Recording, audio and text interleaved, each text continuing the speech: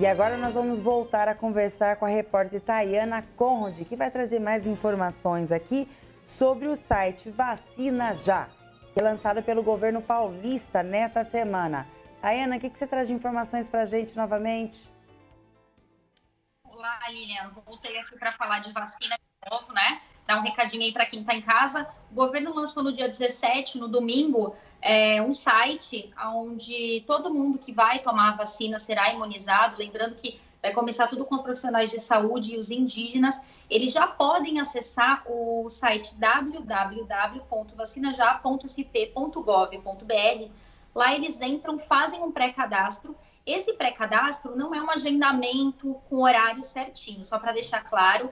Você vai fazer um agendamento, será atendido mais rápido mas a ideia desse agendamento é evitar as aglomerações nos postos onde serão uh, aplicadas as vacinas, né? Então, a ideia é agilizar os atendimentos, mas lembrando que não terá um horário exato de atendimento, tá? É só para realmente evitar as aglomerações.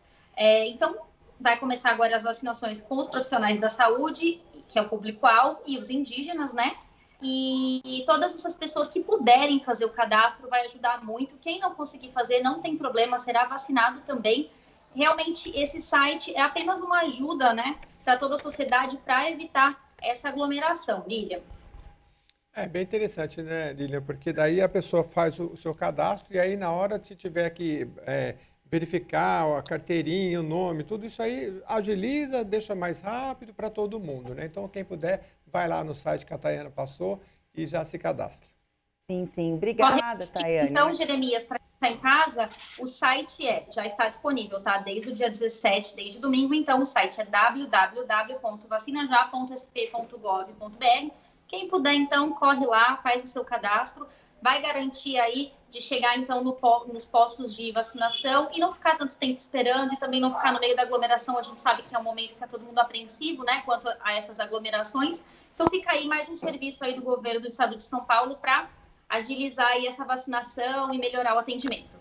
Obrigada, Tayane. Tenha uma boa tarde. Boa tarde, Lilian. Boa tarde, Denise. Inclusive, com esse vacina já também, acho que é uma forma também da pessoa comprovar após que teve essa imunização que foi vacinada, né, Jeremias?